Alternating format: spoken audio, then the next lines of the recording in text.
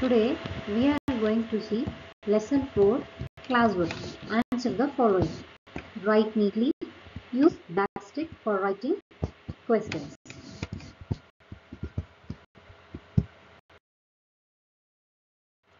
Roman number 4. Answer the following. What did the old man see on his way to the fields? What did he do? The old man saw herons on his way to the fields.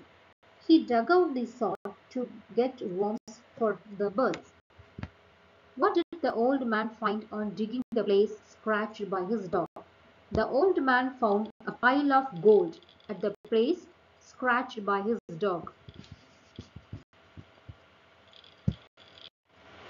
What did the old couple do with the money they got? The old couple bought a new land and helped the poor ones with the money they got, who became envious of the kind old couple's richness.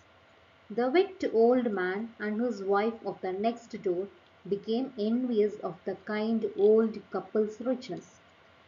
Question number 5. The greedy old man was beaten to death at last. Is it right? Justify your answer. For this question, you have to write your own answer. Write neatly. Thank you.